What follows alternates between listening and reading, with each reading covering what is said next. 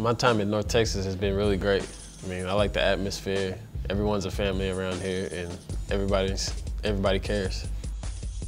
It was it was very tough because everybody on that team's used to winning. It was just a shocker to go 12 and 20 to the whole coaching staff. You know, they, everyone on that staff has been to the tournament. She takes she takes no crap. the hard-nosed woman. She works hard.